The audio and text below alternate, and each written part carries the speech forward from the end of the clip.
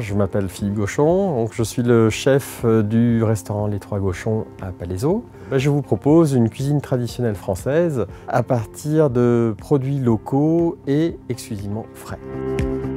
On faisait de la cuisine au restaurant et dans le contexte actuel, effectivement, nous sommes passés par obligation euh, sur de la vente à emporter et nous proposons du coup une, ardoise comme nous le proposions déjà en temps normal toutes les semaines, une ardoise différente, euh, exclusivement sur les produits de saison et produits frais.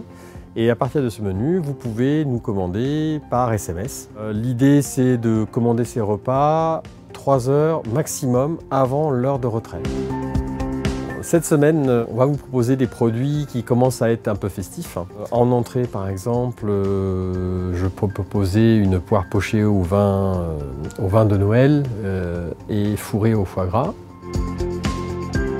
Vous pouvez retrouver nos menus sur notre site internet hein, ou bien sur notre page Facebook Aux Trois Gauchons ou sur Instagram Aux Trois Gauchons aussi.